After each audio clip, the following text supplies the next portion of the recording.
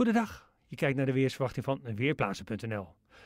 We behandelen het weer voor dit komende weekend uitgebreid, maar we kijken ook alvast naar volgende week. Want zoals je ongetwijfeld al gehoord hebt, dan keert de winter waarschijnlijk terug naar Nederland. Of dat ook schaatsplezier oplevert, dat is natuurlijk nog even afwachten, maar het wordt fors kouder.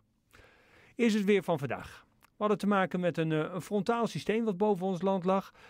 Die lag eh, over het oosten van Nederland, westen van Duitsland. En daaruit viel eh, soms wat motregen.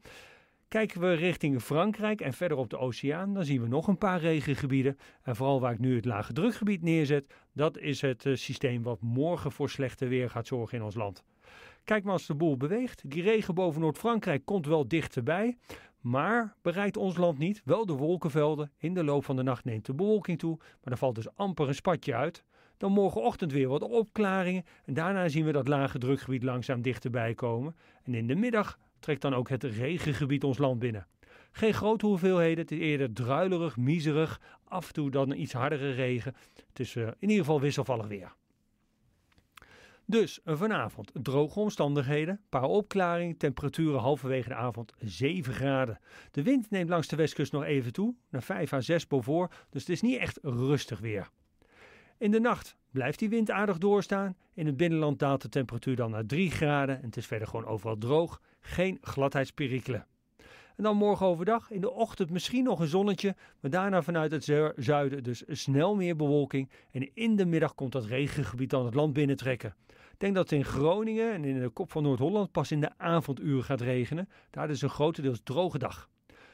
De wind waait eerst uit het zuiden, later op de dag uit het oosten en neemt dan in kracht af. Temperaturen morgen 8 graden. En dat is ruim boven normaal, want die waarde is ongeveer 5 graden.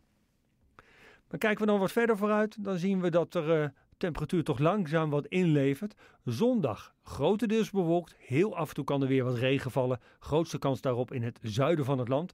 En temperaturen 6 tot 8 graden. Maandag een droge dag, 5 tot 7 graden. Dinsdag 4 tot 6 graden. En dan zie je niet alleen regen staan, maar ook wat vlokjes met sneeuw. De lucht begint kouder te worden, vooral dinsdag later op de dag. En daardoor uh, ja, kan de winter langzaam ons land veroveren. Dat zien we eerst in de vorm van natte sneeuw. En woensdag komt dan ook de vorst. Kijk ook maar naar deze grafiek. De woensdag is echt de scheidingslijn en daarna gaan de temperaturen duidelijk naar beneden. En krijgen we ook met stevige vorst te maken. We komen gewoon weer in de buurt van de min 10 graden. Temperaturen overdag meestal iets boven het vriespunt.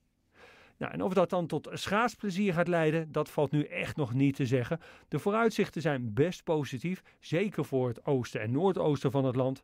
Maar zachte lucht blijft ook best dichtbij en die zou ons zomaar ineens op vrijdag weer kunnen bereiken. Nou, en dan uh, schiet het allemaal niet op met die ijsvloer natuurlijk. Toch, als we kijken naar de kans op winterweer, nou, dan nemen we die fors toe. Woensdag, donderdag, vrijdag, zaterdag, zondag staat allemaal op 100%. En dat is dan de kans dat het s'nachts vriest. En dat kan dan dus min 1 zijn. Dan schiet het niet echt op met de ijsvloer. Het kan ook bijna in de buurt van de min 10 komen. Onderste grafiek laat de kans op temperaturen onder het vriespunt smiddag zien. Nou, dan zien we vooral dat woensdag en donderdag de koude dagen worden. Maar dat de temperatuur daarna toch wel weer wat meer kans maakt om boven het vriespunt uit te komen. En dat we dus smiddags dooi hebben. Dus of we gaan schaatsen is nog even afwachten. Het is wel zeker dat het in de loop van volgende week echt winter wordt. Ik ben Michiel Severin van Weerplaatsen.nl